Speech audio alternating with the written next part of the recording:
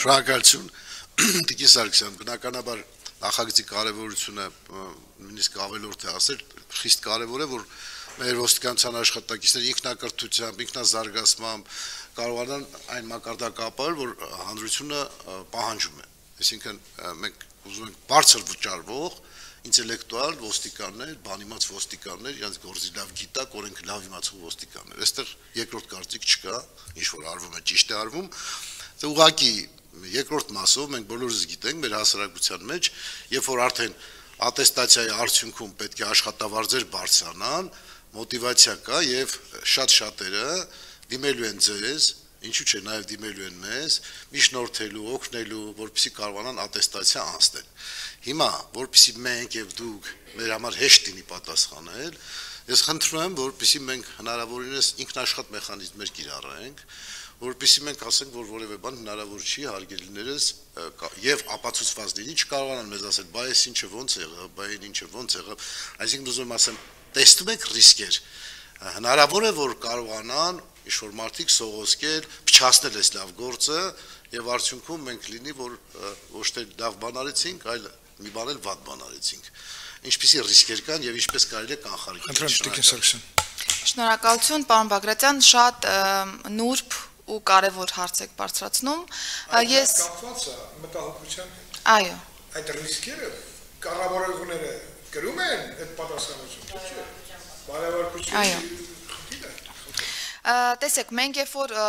ցանկանում էինք հասկանալ process-ը ինչպես են կազմակերպելու ատեստացիայի, հենց հիմնական խնդիրը, որից պետք է նաև բխեր մեր լուծումները, հենց դա էր, որպիսի process-ը հնարավորինս թափանցիկ լինի, հնարավորինս անմիջամտելի լինի, որպիսի մենք կարողանանք վերջնարդյունքում ունենանք հաջող անցած միայն այն ծառայողներին, որոնք իրականում օբյեկտիվորեն պետք է անցնեին այդ այդ ատեստացիան։ Եվ ըստ այդմ, եթե նայենք իմ կողմից վկայակոչած երապուլ համակարգը, ըստ էության առաջին փուլը տեստային է,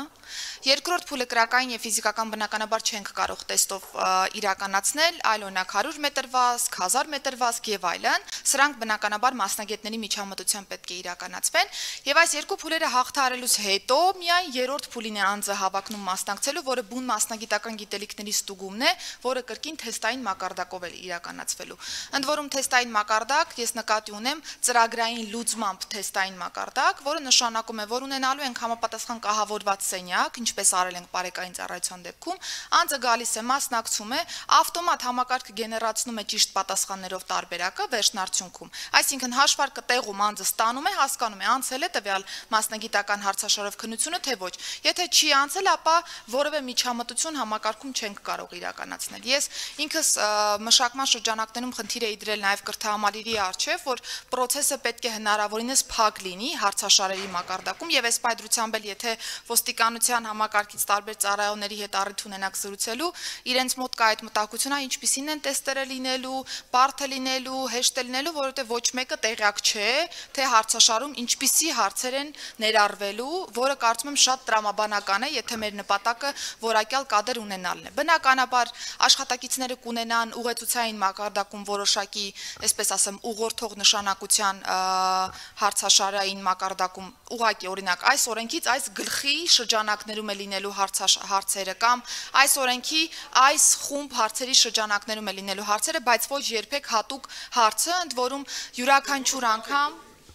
յուրաքանչյուր անգամ պատասխանները թարմացվելու են, այսինքն չի լինելու այնպիսի մի իրավիճակ, որ օրինակ աշխատողը մտավ հանձնեց ատեստացիան, հիշեց, որ 10-րդ հարցի պատասխանը այ, չգիտեմ, երրորդ տարբերակներ, հետևապես հաջորդները կարողանան դանցել։ Անընդհատ Մեր հետ կներեք։ Հա, խնդիր չկա։ Դե լարվածություն է ստեղծել դրան հետևում, դրա համար կարգավորում ձեր չխանգարան, դե մենք այնուամենայնիվ շատ կարևորացինք։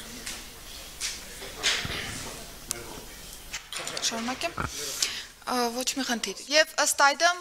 թե հարցերի հերթականությունն է փոխվելու, թե տարբերակներն են փոփոխվելու, որպեսզի մենք կարողանանք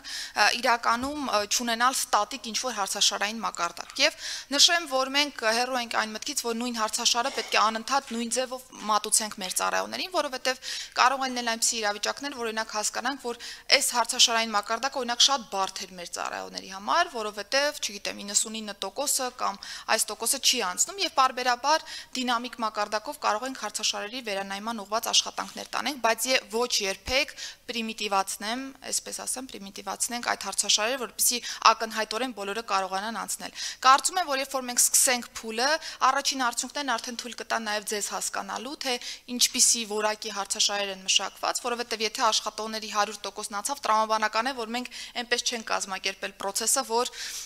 իրականում միայն լավեր է, այսպես ասեմ, անցնեմ, անցնեն հմտություն գիտելիք ունեցողները, այլ ոչ լավված ծառայողներ,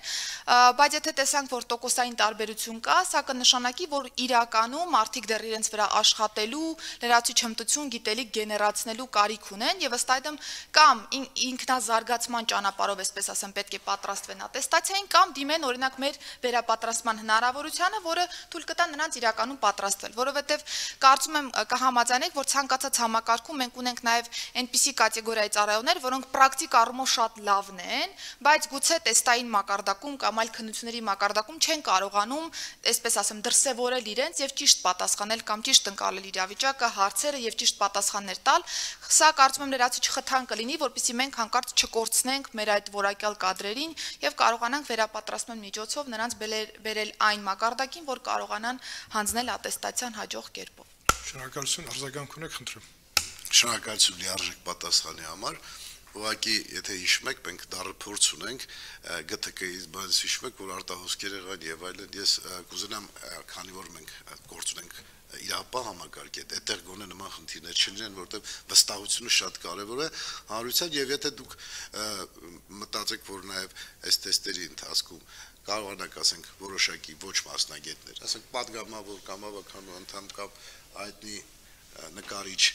զուտ անստենեց որպեսի հասկանան, որ այստեղ որևէ խնդիր չի կարող լինել, այսինքն տեստավորման ընթացքում վստահություն լինի, որ որևէ մեկը չի կարող տեստ մատակարարական պատասխաններ տալ,